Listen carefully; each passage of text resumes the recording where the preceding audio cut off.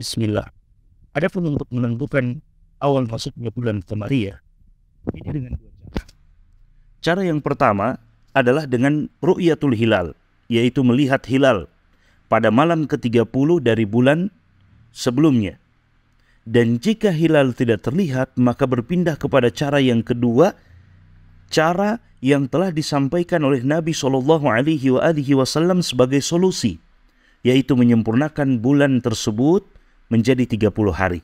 Kemudian masuk pada bulan berikutnya. Nabi Shallallahu alaihi wasallam mengatakan, "La tuqaddimu asy-syahra hatta tarawul hilal au tukmilul iddah." Kata Nabi Shallallahu alaihi wasallam, "Janganlah kalian mendahului suatu bulan sampai kalian melihat hilal atau menyempurnakan bulan sebelumnya menjadi 30 hari." Thumma sumu Kemudian setelah itu berpuasalah kata Nabi SAW hatta tarawul hilal au tukmilul iddah. Setelah kalian melihat eh, hilal atau menyempurnakan bilangan bulan sebelumnya menjadi 30 hari. Hadis ini diriwayatkan oleh Imam Ahmad, Imam Abu Daud, Imam An-Nasai dan disahihkan oleh Syekh Al-Albani rahimahullahu taala. Jelas sekali dalam hadis ini bahwa secara umum untuk penentuan awal seluruh bulan termasuk Ramadan, termasuk Syawal di dalamnya adalah dengan melihat hilal atau dengan menyempurnakan jumlah bulan sebelumnya menjadi 30 hari.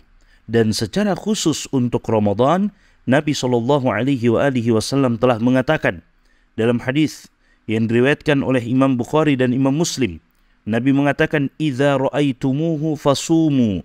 Jika kalian melihat hilal, maka berpuasalah. Wa idza ra'aitumuhu fa'aftiru. Dan jika kalian melihat hilal, maka berbukalah. Akhirilah masa berpuasa kalian. Masuk pada hari Id.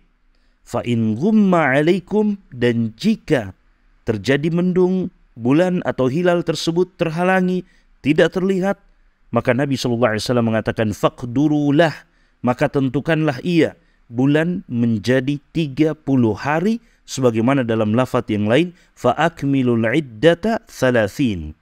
Kata Nabi SAW maka sempurnakanlah bilangannya menjadi 30 hari. Dalam riwayat Imam Bukhari.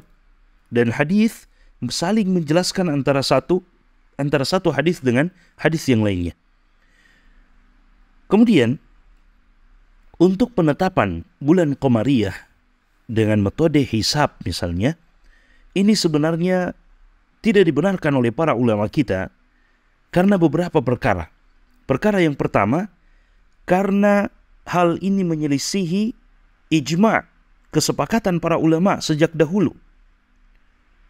Syekhul Islam Ibn Taimiyah rahimahullah taala dalam Majmu' al-Fatawa beliau beliau mengatakan wala yu'rafu fihi khilaf qadim aslan wala khilaf hadis kata beliau sama sekali tidak ada khilaf perbedaan pendapat baik itu sejak dahulu ataupun sampai dengan zaman kita sekarang. Zaman beliau pada saat itu beliau memberikan uh, pernyataan ini. Illa anna ba'dal mutaakhirin ya kata beliau kecuali ada sebahagian mutaakhirin orang-orang yang datang belakangan ya minal mutafaqqiha al hadisi al hadisin ya kata beliau dari kalangan ahli fikih yang datang belakangan ya, pada abad ketiga ba'dal mi'ati as-salisati. Ya pada abad setelah abad yang ketiga za'ama annahu idza ghummal hilal jaza lil hasib ay ya'mala fi haqqi nafsihi bil hisab.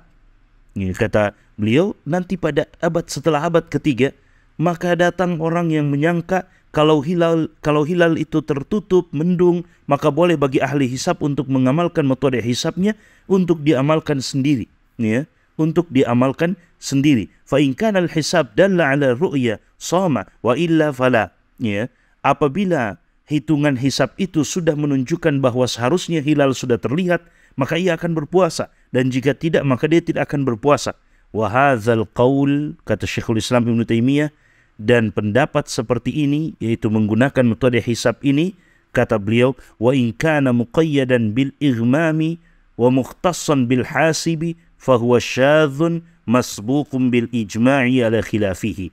Meskipun pendapat ini kata beliau adalah pendapat yang di, disyaratkan hanya dilakukan ketika mendung dan hanya dipraktekkan puasanya khusus untuk ahli hisab misalnya, namun pendapat ini adalah pendapat yang syadz, lemah, keliru dan bahkan ijma' telah terjadi sebelumnya yang bertentangan dengan pendapat tersebut. Ini beliau sebutkan dalam majmu' fatwa beliau. Ibnu Hajar al-Asqalani rahimahullahu taala ya, seorang imam dalam madhab Syafi'i. Beliau pun mengatakan demikian. Beliau katakan bahwasanya Ibnu As-Sabbagh ya berkata adapun al-hisab adapun hisab amma bil hisab adapun dengan metode hisab fala yalzamuhu bila khilafin baina ashabina maka tidak mengharuskan orang untuk berpuasa dan itu tidak ada khilaf perselisihan pendapat di kalangan ulama madhab kami ya kata beliau. Dan Ibnu Hajar mengatakan kultu aku berkata Ibnu Hajar katakan ya sebelum beliau Ibnul Munzir telah menukilkan adanya ijma' ya wa naqala Ibnu Munzir qablahu al-ijma' ala dzalika kata Ibnu Hajar. Dan Ibnu Munzir telah menukilkan ijma' konsensus kesepakatan para ulama tentang hal tersebut sebelum Ibnu Sabbaq Kemudian Ibnu Munzir berkata dalam kitab Al-Ishraf, Ibnu Munzir berkata ya bahwasanya saumu yaumi uh, al-thalathin min Sya'ban idza lam yura al-hilal ma'a sahwi la yajibu bi ijma'il ummah. Kata uh, Ibnu Munzir, puasa pada hari ke-30 dari bulan Sya'ban jika tidak terlihat hilal padahal langit dalam kondisi cerah maka tidak wajib dengan adanya kesepakatan umat. Ini disebutkan oleh Ibnu Hajar dalam Fathul Bari beliau. Ya, juga dalam perkataan yang lain dalam Fathul Bari juga Ibnu Hajar mengatakan sebahagian orang berpendapat jika terjadi mendung maka merujuk kepada ahli falak mereka adalah Syiah Rafidah.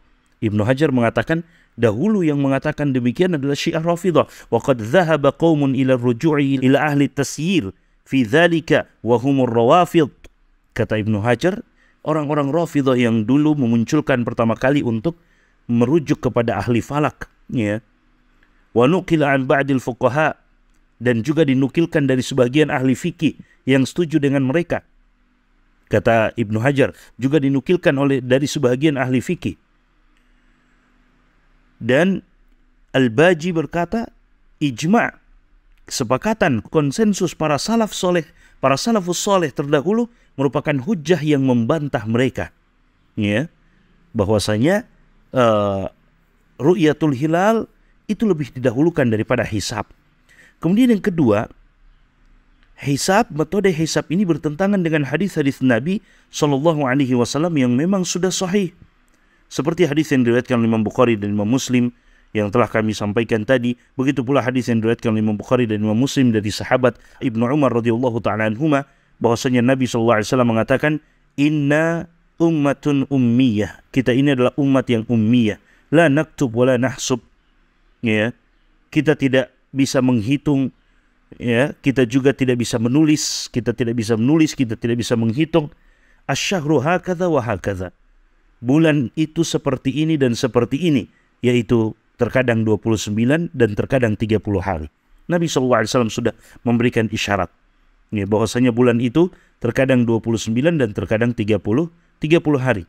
Yang ketiga Metode hisab ini menyelisihi karena hisab falaki dalam menetapkan bulan Komariah hanya memberikan kesimpulan yang bersifat zon, dugaan, dan tidak akan sampai kepada al-yakin. Ya, tidak akan sampai kepada yakin dan berapa banyak, berapa banyak, ya, ini sebagai sekedar contoh saja, terjadi perbedaan pendapat antara uh, penentuan-penentuan yang juga menggunakan metode yang sama yaitu metode metode hisab. Oleh karena itu, marilah kita ya bersatu dalam melakukan amalan ibadah yang mulia ini yaitu bulan suci Ramadan. Ini adalah musim untuk kita terlihat kaum muslimin itu bersatu dengan jumlah yang banyak mereka beribadah kepada Allah Subhanahu wa taala. Begitupun dalam salat Id mereka.